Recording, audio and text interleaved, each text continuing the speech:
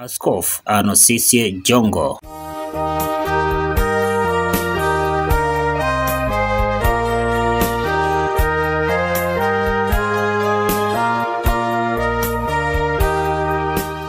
Karibu katika makala hii inayomwangazia Askofu Anosisie Jongo aliyewahi kuwa askofu wa kwanza Mwafrika wa kanisa la Moravian jimbo la Kusini. Makala hii ni matokeo ya tafiti mbalimbali zilizowahi kufanywa, na ninayekusomea makala hii naitwa Gwamaka Edward Jongo, na kusihi fuatana nami. Askofu anosise Jongo Mwasombelo alizaliwa mnamo Novemba 1914 katika eneo la Ikinga, wilaya ya Ireje nchini Tanzania. Historia inaeleza kuwa Askofu anosise Jongo katika maisha yake alioana na mkewe Elikana Kiandwike na walibarikiwa kupata watoto wanane huku mmoja wao akifariki utotoni. Majina ya watoto hao ni kama ifuatavyo: Edward Jongo, Paulo Jongo, Lea Mkumbwa, John Jongo, Elia Jongo, Angetile Jongo, Esther Chaila na wa mwisho akiwa ni Sem Anasisi Jongo.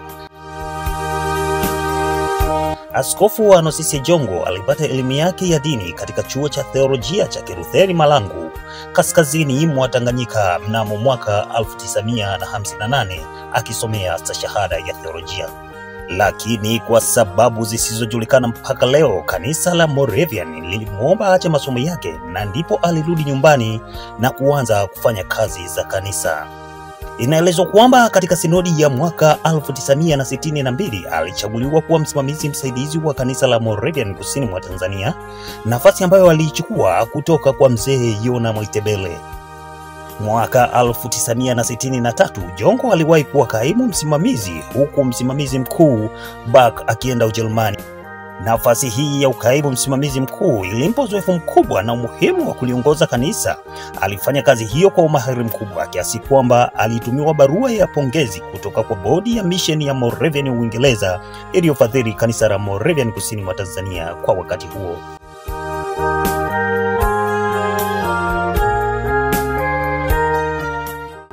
Akiwa kaimu msimamizi, Jongo alialikwa kutumia muda wa miezi sita kutembelea bodi ya misheni huko Ulaya, yaani bodi ambazo zilisaidia kanisa la Moravian kusini mwa Tanzania. Baada ya Askofu Jongo kuondoka, ndipo Mwamakula alichaguliwa na kuwa msimamizi msaidizi badala yake. Historia inaendelea kueleza kuwa baada ya Jongo kurejea, ndipo halmashauri ya mkoa ilimkabidhi Jongo kufanya kazi katika usharika wa Tukuyu. Hata hivyo, kwa bahati nzuri, Jongo alichaguliwa kuwa msimamizi wa jimbo, yaani Mwafrika wa kwanza kushika nafasi hii miaka sabini na saba baada ya wamishonari kuanza kazi ya umisheni tangu mnamo mwaka 1891 nchini Tanzania. Sinodi ya katiba ya mkoa iliyoitishwa mwaka 1969 ilikuwa na kazi nyingi ya kufanya, huku moja ya kazi zao ilikuwa kubadili jina la msimamizi mkuu wa kanisa hadi mwenyekiti wa halmashauri ya mkoa, na hapo ndipo Jongo alichaguliwa tena kuwa mwenyekiti wa mkoa katika sinodi ya mwaka 1970. Watunza historia na watu waliomjua Jongo wanasimulia kwamba Askofu Jongo aliishi maisha ya urahisi na kujinyima sana. Ingawa alikuwa mwenyekiti wa bodi ya mkoa, hakujifanya kama mtu muhimu.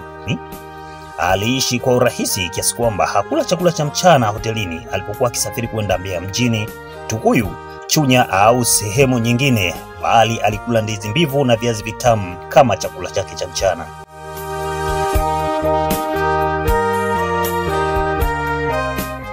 Pia wachungaji na watu wengi ambao aliwahi kuwapa lifti kwenye gari yake walikuwa wakitegemea kuwa labda wangekula hotelini, lakini la, wala haikuwa hivyo. Waliishia kula chakula alichobeba kutoka nyumbani kwake. Kadhalika, wanasema kuwa Askofu Jongo hakuvaa nguo za gharama, bali badala yake alikuwa na nguo rahisi ambazo alizivaa kila siku. Yaani, kwa lugha rahisi tunaweza kusema kwamba alipenda kuishi maisha rahisi kwa ajili ya Kristo. Katika vikao vya baraza la sinodi na majimbo, alisikiliza pande zote kwa subira, hata zile hoja alizotofautiana nazo.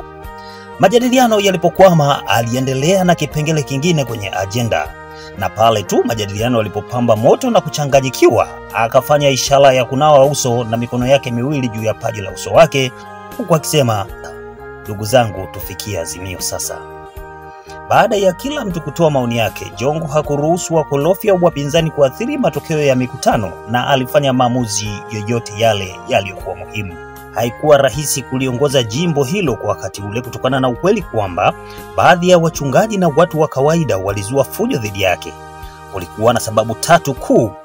Kwanza, baadhi yao walitaka kumwona Jongo akishindwa kuongoza ili mzungu achukue tena nafasi hiyo. Pili, uadui fulani uliotokana na ukabila na tatu, baadhi ya wachungaji wenye uchu wa madaraka walitaka tu kuchukua nafasi yake kama mwenyekiti wa mkoa. Lakini mambo hayakuwa kama walivyotarajia wapinzani wa Jongo na akachaguliwa tena mwaka 1974. Na Oktoba mwaka 1976, Jongo aliongoza sinodi iliyopitisha azimio la kugawa jimbo hilo kuwa jimbo la kusini, yaani makao yake makuu huko Rungwe. Hata baada ya kugawanywa kwa jimbo hilo, Jongo aliendelea kuwa mwenyekiti wa jimbo la Moravian, jimbo la kusini mwa Tanzania hadi Januari 4 mwaka 1979 alipochaguliwa kuwa askofu. Wakati wa uwenyekiti wake, Jongo aliongoza jimbo hilo katika nyakati ngumu, lakini bado aliendelea kuwa mvumilivu na mwenye nguvu, akiwezeshwa na Mwenyezi Mungu. Katika hafla za kawaida ilikuwa ni desturi yake kusalimia wachungaji wa Wakristo akiwauliza jinsi kanisa lake la nyumbani lilivyokuwa. Kanisa la nyumbani akimaanisha kanisa huwa linaanzia nyumbani. Kazi yake ya mwisho ya kuwaweka wakfu wachungaji ilikuwa katika jimbo la Vwawa Kusini Magharibi, ambako aliongoza mafunzo na kamati tendaji ya jimbo la Kusini Magharibi kuanzia Mei 27 hadi 30 mwaka 1981.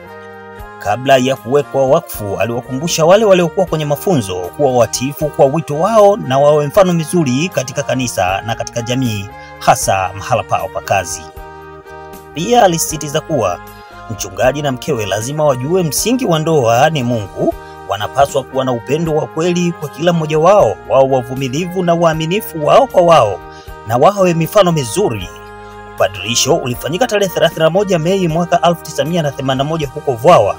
Watu wengi walihudhuria sherehe siku hiyo, na Jongo alihubiri mahubiri marefu yaliyojaa changamoto na mambo muhimu ya kiroho.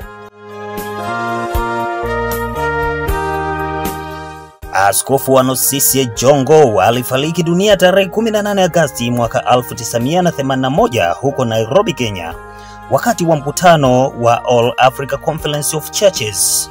Mwili wake ulisafirishwa hadi Mbeya na kusafirishwa kwa gari la manispaa, huku nyuma likifuatiwa na msururu mrefu wa foleni kutoka Mbeya kuelekea Rungwe, ulipolazwa mwili wake katika viwanja vya lilipo kanisa la Moravian Rungwe. Watu wengi walimiminika kwenye uwanja wa ndege wa Mbeya na Rungwe na kuomboleza kwa wiki kadhaa, huku kukizaliwa msemo maarufu kwa Wanyakyusa wakisema tukugulila maiti ga Jongo. Naweka koma katika makala hii ili kuruhusu maoni zaidi ya historia hii adhimu kwa familia, kanisa, watu wote wenye kupenda historia za kale. Shukrani kwa mtandao wa Dictionary of Africa Christian Biography, kanisa la Moravian Tanzania na wote walioshiriki kutafiti na kuandika makala hii. Ni kushukuru kwa muda wako, na niliyekusomea makala hii naitwa Gwamaka Edward Jongo. Nasema Mungu akubariki sana.